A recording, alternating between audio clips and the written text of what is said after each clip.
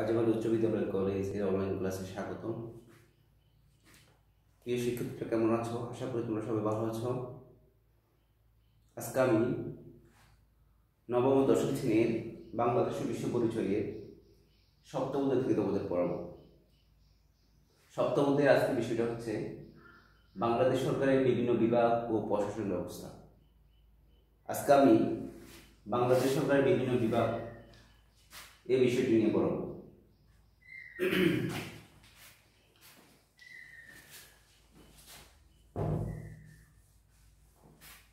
সরকারের বিভিন্ন অঙ্গ। সরকারের অঙ্গ কি? আমরা তো জানি সরকার কাকে বলে। আমি গত ক্লাসে পরিবেশ পড়াইছিলাম, সরকার কাকে বলে? সরকার কি?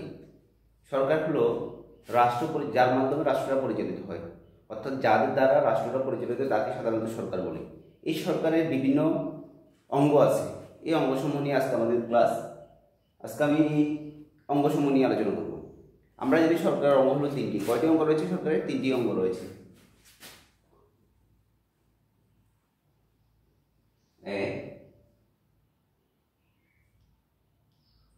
শাসন বিভাগ।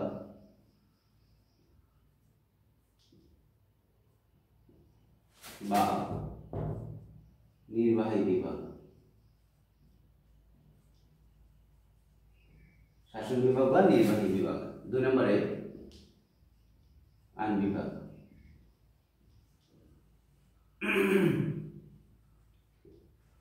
তিন নম্বরে বিচার বিভাগ।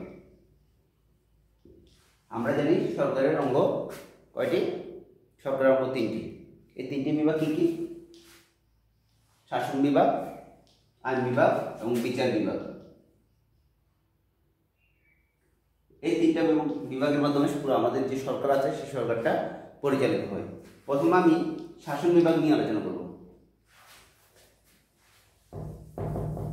শাসন বিভাগ বা নির্বাহী বিভাগ। আর শাসন বিভাগকে নির্বাহী বিভাগ বলা হয় কেন? শাসন বিভাগ আসলে শাসন বিভাগের অপর নাম হলো নির্বাহী বিভাগ। এখন পুরো আমাদের যে রাষ্ট্রটা আছে, সেই রাষ্ট্রটা আসলে এই শাসন বিভাগের মাধ্যমে পরিচালিত হয়।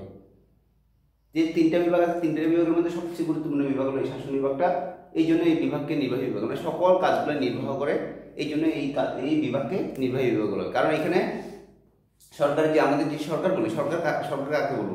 সরকার বলতে আসলে সরকারকে সাধারণত দুইটা আহ, সংকীর্ণত্ব এবং ব্যাপকতা বলা হয়।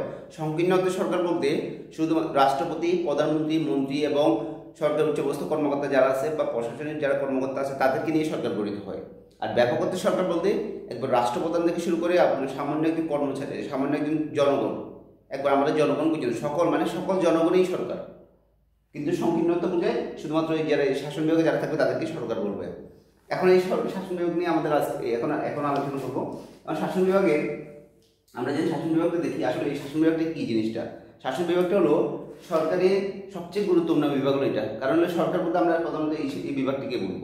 ঠিক আছে? এখন এই বিভাগে কারা কারা থাকবে? এই বিভাগে থাকবে রাষ্ট্রপতি, প্রধানমন্ত্রী, মন্ত্রী প্রতিমন্ত্রী, এমপি, আবার যারা সরকারি কর্মকর্তা এবং কর্মচারী, এদের এদের নিয়ে শাসন বিভাগটা গঠিত হবে। এখন এই যে বিভাগ, এই বিভাগের প্রধান কি? আসলে আমাদের যে সংসদীয় সরকার ব্যবস্থায় এক ধরনের আমাদের আমরা জানি সরকারের যে শ্রেণি বিভাগের মধ্যে আমরা সংসদীয় সরকার ব্যবস্থা দেখছি, রাষ্ট্রপতি শাসিত সরকার ব্যবস্থা দেখছি। এখন আমাদের যেহেতু বাংলাদেশের সংসদীয় সরকার ব্যবস্থা, এই সংসদীয় সরকার ব্যবস্থায় যদি শাসন বিভাগে আমাদের যদি সরকার যদি সংসদীয় সরকার পদ্ধতি হয়, তাহলে কেমন হবে? যদি সংসদীয় সরকার পদ্ধতি হয় সংসদীয় সরকার পদ্ধতি। যদি সংসদীয় সরকার হয়, যদি কোনো রাষ্ট্রের সংসদীয় সরকার পদ্ধতি হয়, তাহলে রাষ্ট্রপ্রধান হবে। রাষ্ট্রপতি কিন্তু শাসন বিভাগের প্রধান হবে প্রধানমন্ত্রী। মানে এই শাসন বিভাগের নির্বাহী প্রধান। নির্বাহী প্রধান কারা থাকবে? সংসদীয় সরকার পদ্ধতি হলে নির্বাহী নির্বাহী ক্ষমতা থাকবে কার হাতে? প্রধানমন্ত্রীর হাতে। প্রধানমন্ত্রীর হাতে। আর রাষ্ট্রপতি শাসিত সরকার ব্যবস্থা হলে? রাষ্ট্রপতি হলে, রাষ্ট্রপতি শাসিত হলে হবে ক্ষমতা থাকবে কার হাতে রাষ্ট্রপতির হাতে মানে রাষ্ট্রের সকল ক্ষমতা থাকবে তখন কি? কে? রাষ্ট্রপতি। আমি আবার বলছি, আমাদের কোনো রাষ্ট্রের মধ্যে যদি সংসদীয় সরকার ব্যবস্থা- থাকে তাহলে সে রাষ্ট্রের নির্বাহী বিভাগ, নির্বাহী প্রধান মানে সকল ক্ষমতা, রাষ্ট্রের সকল ক্ষমতা থাকবে, রাষ্ট্রের সরকারের সকল ক্ষমতা থাকবে হাতে প্রধানমন্ত্রীর হাতে। আর কোনো রাষ্ট্র, কোনো রাষ্ট্রে যদি রাষ্ট্রপতি শাসিত সরকার ব্যবস্থা হয়, এবং সেখানকার শাসন বিভাগের শাসন বিভাগের প্রধান হবে কে বা নির্বাহী প্রধান হবে কে? রাষ্ট্রপতি। আচ্ছা। এরপরে যে বিভাগটা আছে, সেটা হলো আইন বিভাগ।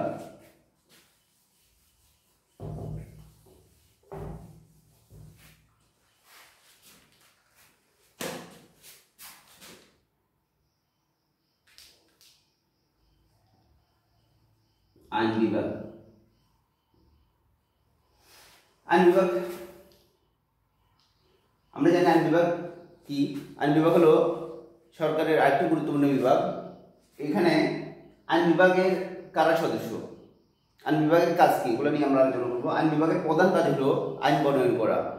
সাথে সাথে আমাদের রাষ্ট্রের যে গুরুত্বপূর্ণ আইনগুলো আছে, আইনগুলো প্রণয়ন করা, আইনগুলো বাতিল করা, আইনগুলো সংশোধন করা সংবিধানে জাতীয় সংসদের আমাদের যে সংসদটা আছে বা জাতীয় আইন, আমাদের যে আইনসভা আছে, আইন বিভাগের যে আমাদের যে আইন বিভাগটা আসলে আইন বিভাগটা? আইন বিভাগটা হলো আসলে আইন- আইনসভাটা। আইনসভার আমাদের আইনসভার নাম কি? আমাদের আইনসভার নাম হলো জাতীয় সংসদ। এখানে আসন সংখ্যা কত? এখানে আসন সংখ্যা হলো তিনশো পঞ্চাশটি। তিনশো জন হলো সংরক্ষিত, তিনশো জন হলো আমাদের নির্বাচিত, পঞ্চাশ জন হলো সংরক্ষিত মহিলা আসন। টোটাল তিনশো পঞ্চাশ জন। তিনশো পঞ্চাশ জন, তিনশো পঞ্চাশ জন সদস্য নিয়ে আমাদের আইন বিভাগটা গঠিত হবে। আইন বিভাগের নাম কি? আইনসভা। আইনসভা আইনসভা, ঠিক আছে? আইনসভা। এটার নাম হলো জাতীয় সংসদ। জাতীয় সংসদ। সংসদ। কয় কক্ষ বিশিষ্ট আমাদের আইনসভাটা? এক কক্ষ বিশিষ্ট। এগুলো অনেকগুলো প্রশ্ন তোমাদের আমি বলেছি, এক কক্ষ বিশিষ্ট আইনসভা আমাদের। আমাদের আইনসভা কয় কক্ষ বিশিষ্ট? আমাদের আইনসভাটা এক কক্ষ বিশিষ্ট।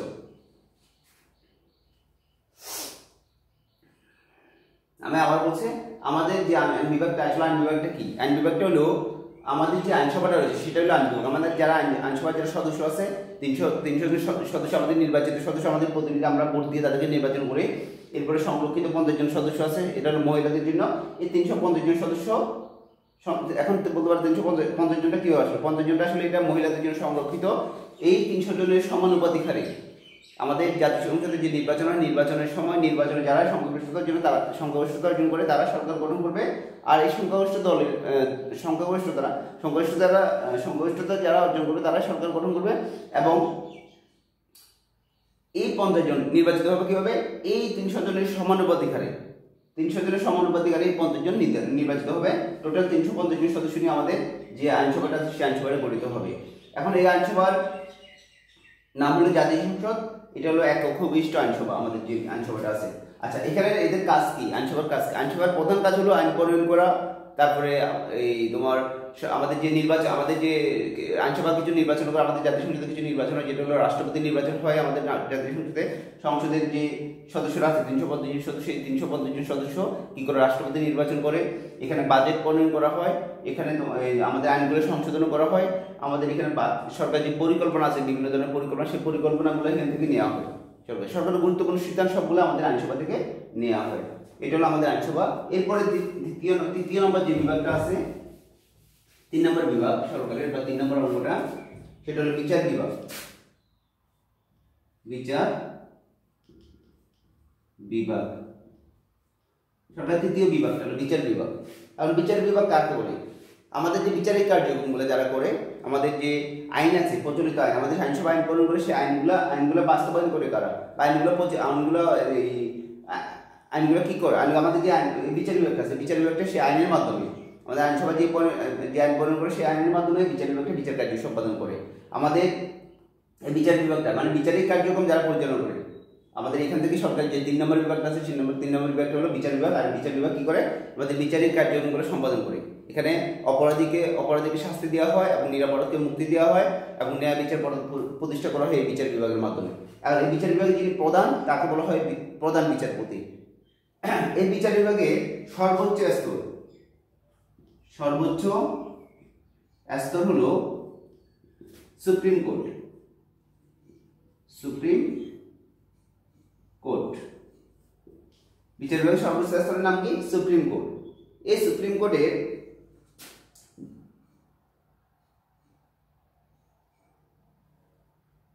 আচ্ছা এখানে আরেকটা জিনিস আমি বলি। এখানে আমাদের যে বিচারিক কার্যক্রমগুলো, এটা পরে বলতেছি আমাদের যে বিচারিক কার্যক্রমগুলো দুইজন আমরা, আমাদের দেশে দুইজনের বিচারিক কার্যক্রম প্রচলিত আছে। সেটা হলো, এক নম্বর হলো, দেওয়ানি মামলা, দেওয়ানি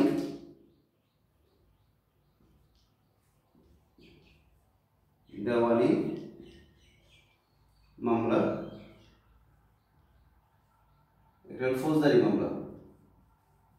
ফৌজদারি মামলা। মানে আমাদের এখানে, আমাদের দেশে যে সকল বিচার, যে সকল বিচারিক কার্যক্রম পরিচালিত সেই বিচারিক কার্যক্রমগুলোর মধ্যে আমাদের যে একটা হলো দেওয়ানি মামলা দেওয়ানি মামলা পরিচালিত হয়, একটা ফৌজদারি মামলার মাধ্যমে। এখন দেওয়ানি মামলা কাকে বলে ফৌজদারি মামলা বলে? দেওয়ানি মামলা হলো জায়গা জমি সংক্রান্ত। জায়গা জমি সংক্রান্ত অর্থ সংক্রান্ত যে মামলাগুলো সেগুলো হলো দেওয়ানি মামলা দেওয়ানি মামলা হবে। আর ফৌজদারি মামলাগুলো যেগুলো অপরাধ সংগঠিত মানে দেওয়ানি মামলা ছাড়া বাকিগুলো হলো ফৌজদারি মামলা। দেওয়ানি মামলা হলো, জায়গা জমি এবং অর্থ সংক্রান্ত মামলাগুলো আর ফৌজদারি মামলা হলো যেগুলা অপরাধ জড়িত অপরাধ কেউ কাউকে মেরে মাথা ফেরিয়ে দিল অথবা কাউকে হত্যা করল, সেই মামলাগুলো হবে ফৌজদারি মামলাতে এখন এই আমাদের যে বিচার বিচারিক কার্যক্রমগুলো, বিচারের কার্যক্রমগুলো সর্বোচ্চ আদালত। বিচারের কার্যক্রমের সর্বোচ্চ আদালত কোনটি? সর্বোচ্চ আদালত হলো সুপ্রিম কোর্ট। সর্বোচ্চ। আদালত স্তর আমাদের বিচার বিভাগের সর্বোচ্চ স্তর কোনটি সুপ্রিম কোর্ট। Supreme court. এই সুপ্রিম কোর্টে দুইটা অংশ রয়েছে। দুইটা বিভাগ সুপ্রিম কোর্টের দুইটা বিভাগ একটা হলো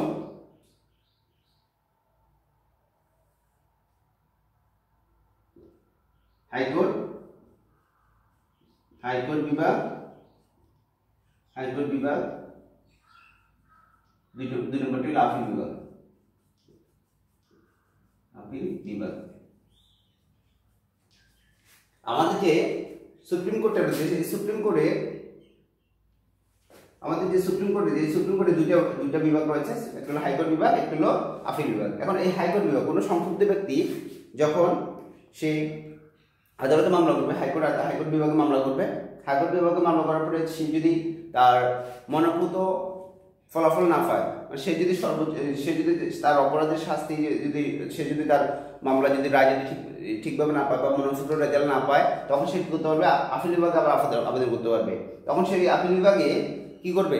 আপিল বিভাগে আবার এই যে হাইকোর্ট বিভাগে যে রায়টা, সেই রায়টাকে আবার পর্যালোচনা করবে এবং দেখবে, দেখা, দেখে, দেখার পরে সে আপিল বিভাগে আবার একটা রায় দিবে, সেই রায়টা হবে সর্বোচ্চ রায়। এখানে এখানে যে রায়টা হবে, এই আপিল বিভাগে যে রায়টা হবে, সেই রায়টা আর পরিবর্তন করা যাবে না। এই রায়টাই তার তার জন্য ইয়া হবে, নির্ধারিত। মানে সেই রায়টাই হবে শেষ রায়। তার মানে বিচারিক, তার সে বাংলাদেশে বাংলাদেশে আর কোনো, এর উপরে আর কোনো রায় হবে না। এটাই হবে সর্বোচ্চ রায়। এরপরে তারপর আরেকটা পথ থাকবে মানে সেই সংক্ষুব্ধ ব্যক্তি বা অথবা অপরাধী, সে যদি অপরাধ যদি স্বীকার করে রাষ্ট্রপতির কাছে পান ভিক্ষা চায়, তাহলে রাষ্ট্রপতি যদি তাকে ক্ষমা করে দেয়, তাহলে তার অপরাধটা সে তার সে মুক্ত মুক্ত হয়ে যাবে, মুক্ত পেয়ে মুক্তি পেয়ে যাবে। এভাবে আমাদের যে বিচারিক কার্যক্রম বা আমাদের সেই বিচারিক কার্যক্রমগুলো এইভাবে সম্পাদিত হবে।